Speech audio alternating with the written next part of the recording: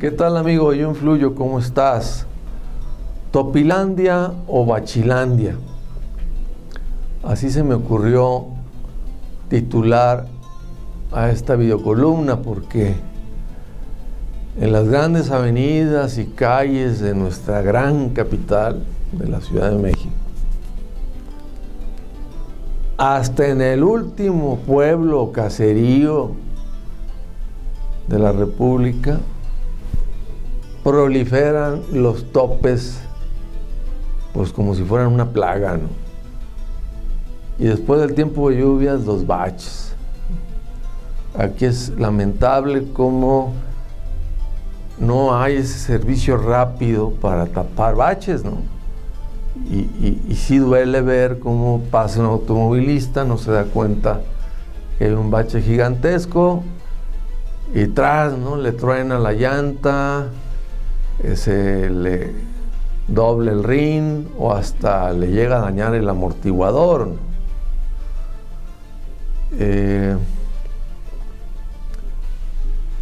en una colonia donde los colonos están bien organizados, tomaron videos y fotografías y juntaron muchísimas firmas para, el que, para que el jefe de esa delegación no solamente estuviera informado, sino que fuera a ver los hechos.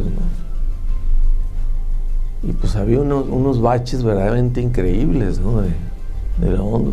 Y unos topes muy superior a un coche normal, había que meterse así, eh, en sesgado.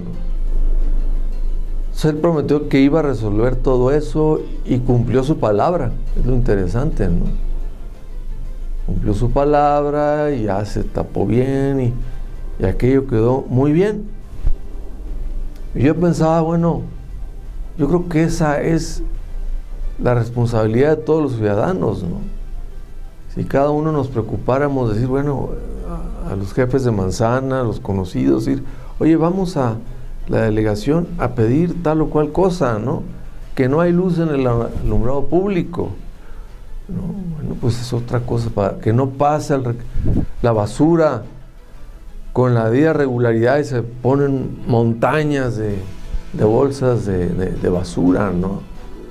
Entonces, conviene mucho ante este tipo de cosas despertar en nuestra participación y responsabilidad ciudadana. Para ello influyo, Raúl Espinos. Hasta pronto.